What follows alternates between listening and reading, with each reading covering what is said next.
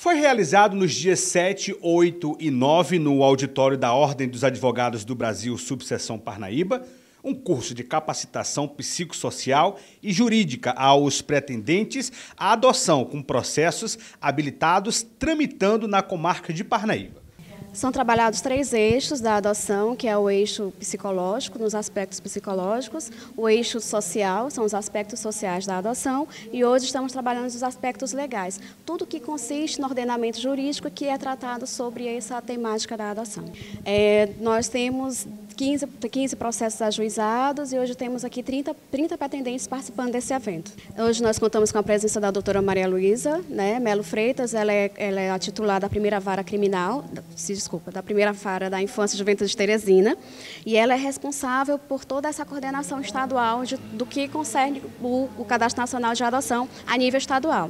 Ela é representante, a nossa coordenadora e tem vasta experiência na área e trouxe a sua grande colaboração para o nosso evento de hoje.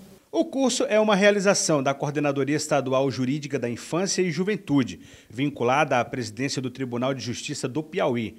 Quem marcou presença no evento e palestrou foi a juíza responsável pela coordenação estadual em adoção, Maria Luísa Melo Freitas que na ocasião esclareceu a grande importância do evento. A importância é passar o conhecimento para essas pessoas, esclarecer a respeito da adoção, porque são muitas perguntas que ficam é, na interrogação, é cumprir o que está previsto no Estatuto da Criança e do Adolescente, lá em seu artigo 3 é, artigo 50, parágrafo 3 né, que diz que hoje para o casal a pretendente adotar, antes ele tem que passar pelo curso preparatório de adoção e esse curso será ministrado pelo Juizado da Infância e sua equipe e a equipe do município. Este curso é uma condição indispensável para o procedimento de adoção, de modo que se torna de essencial importância a preparação para os pretensos à adoção, como conta a juíza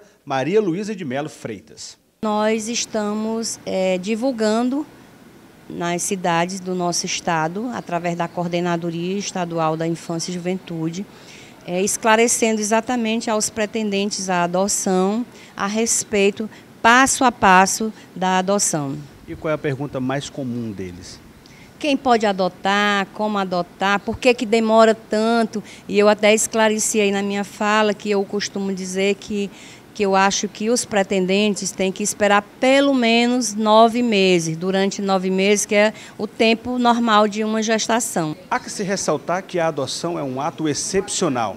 No entanto, quando esta se fizer a única alternativa, é necessário que se tome todos os cuidados para o bem-estar, tanto da criança quanto do adolescente.